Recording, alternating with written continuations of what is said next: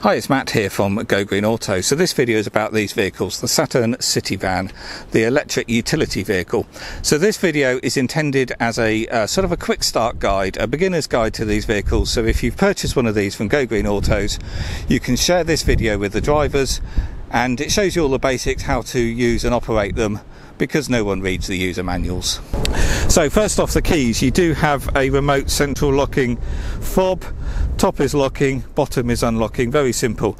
However, if for some reason the 12 volt battery's gone flat, you can still unlock it with a key, but you need to do that on the passenger door and you can unlock it the old fashioned way. So starting the vehicle, you put the key in the ignition, you put your foot on the foot brake and then turn the ignition on and then you just wait until it says ready up there on the dash and once it's ready you are running and ready to drive. Being electric of course there's no noise or vibration because there's no engine starting up. Uh, you will however hear an electric pump and that's the brake um, servo pump pressurizing the brake system, and you will hear that uh, quite frequently. Um, pretty much every time you use the brakes, the pump will come on and um, pressurize the brake system up again. Uh, it does make quite a bit of noise, uh, and at first you think there might be something wrong. It's only because there's no engine drowning out uh, all the noises. So you will hear the brakes grind and you will hear that brake pressure pump come on, but of course it's all normal. So to drive, you simply select the gear you want, keeping your foot on the foot brake, and you either select drive or reverse.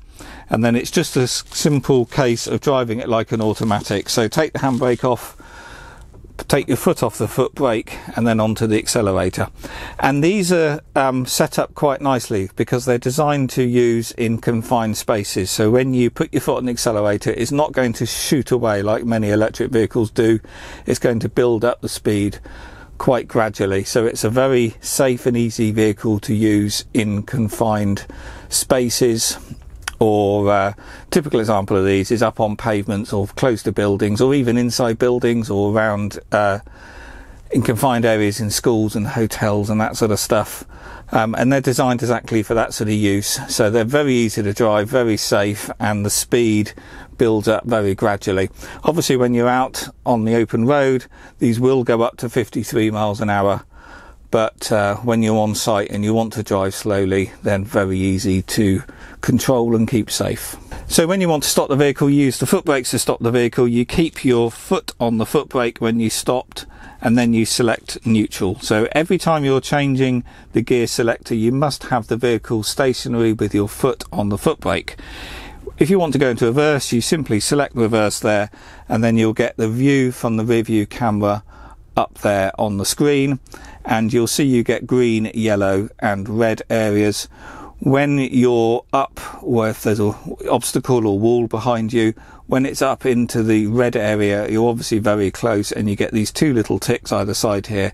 That's when you're up very close to the vehicle when obviously you've got to stop. And of course, apply the handbrake every time you've stopped and leaving the vehicle. I don't need to go into all the controls because the lights and uh, wiper controls are exactly the same as every other type of vehicle. Um, heating on this is quite basic. This one doesn't have the optional air conditioning. When you have the air conditioning, you'll have an electronic panel here.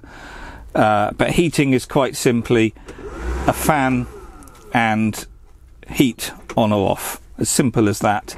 This is your um, hazard warning light switch, and there's a 12 volt accessory socket there. I think the maximum um, draw on that is 10 amp. Uh, but all the information is in the uh, user manual for that. Again, I'm not going to go into all the detail of the stereo. It's all pretty self-explanatory and it's a touchscreen and all very easy to use.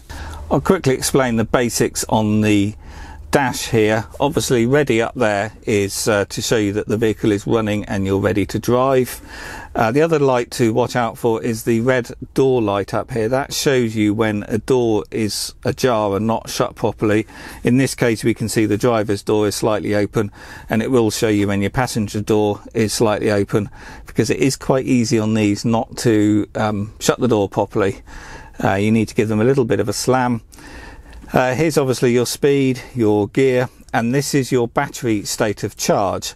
So on these, ideally, you want to charge the battery um, before it gets below 20%. That's if you want to look after the battery. If you're charging it um, every day and using the full range, then that's fine. Uh, but if you want to uh, maximize the life of the battery, when it gets down into the red level at 20%, that's when you want to put the vehicle on charge and we can see there it says 56% and that is our current battery state. A pedestrian warning system, a sound that emits out the front of the vehicle when you're driving at slow speeds and that just warns pedestrians that uh, an electric vehicle is coming because obviously they make no noise. And on these it's sort of like a bird chirping sound and you'll get that chirp as soon as you pick up a little bit of speed and um, it stops when you're you're doing a, a, sort of decent road speed, I think about 15 miles an hour, or something like that.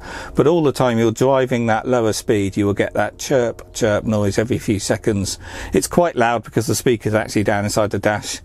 Um, so it sounds just as loud inside as it does outside. So when driving these vehicles, they do have uh, regen braking. So when you lift off the accelerator, it will slow the vehicle down, but it is quite light. But that's putting charge back in the battery. Um, there you'll notice the chirping of the pedestrian warning system. So that's obviously on at low speeds.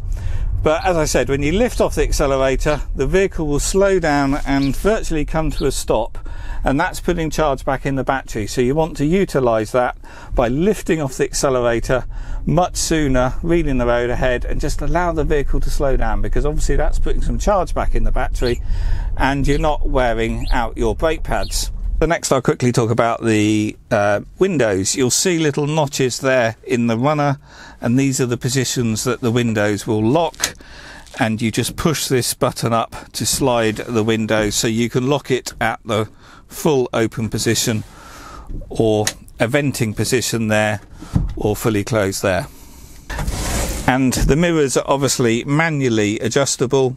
The nice thing is, is the vehicle is small enough that you can open the window and adjust it from this side. You might have to take your seatbelt off, but it's all easily done from inside the vehicle. I'll just mention the doors on these because it's quite easy to be a bit too gentle with the doors and not shut them properly. And we can see there that's not slammed properly because we've still got a bit of play there on the door. So you don't want to slam them from back here, but just get them up close and give them a good thud and they will then shut properly. And of course those red lights will then disappear off the dashboard as well. The seats are adjustable on these. You have a lever here to adjust the backrest and then you have a bar there for sliding the seats forward and backwards and there's quite a lot of adjustment on these seats. The payload of these is a maximum of 500 kilograms in the back regardless of the model you have. There's also a stated uh, maximum weight in the front for the passenger and the driver of 130 kilograms. However, I've spoken to the manufacturer about this to see whether that's a maximum weight on the front axle, but they couldn't confirm that and it seemed it was more about just maintaining the maximum range of the vehicle. When it comes to charging the vehicle, the charge port is down here on the driver's side in the side panel here under this flap and it's a standard type 2 charging socket. So whether you're using the type 2 to 16 amp commando cable that comes with the vehicle a portable charger often called a granny cable or a standard EV wall charger it's all the same. You get your type 2 charging cable and you simply plug it in. Down here there is a flap on the port in there, but just plug it in like that and then basically just leave it. The vehicle has switched the charging system on and we can see there on the wall charger it is now charging. So you just leave it to do its thing. Typically overnight a charge is going to take six to eight hours or so but the vehicle controls the charger so it will charge to 100% and then the vehicle will turn off your charger and turn off the mains and then it will be ready for the morning. The windscreen washer bottle is behind the front cover here.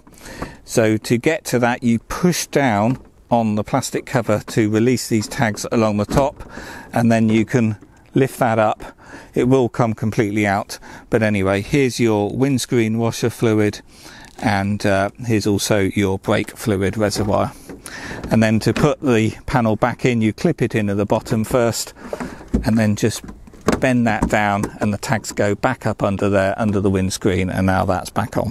The reversing camera on these is here above the number plate and it's a good idea when you're around the back of the vehicle just to run your finger across the lens and that just removes any dirt from the lens there so you get a clear view on the screen in the dash. So I think I've covered all the basics and uh, of course everything else is in the user manual and do please share this quick video with all the drivers.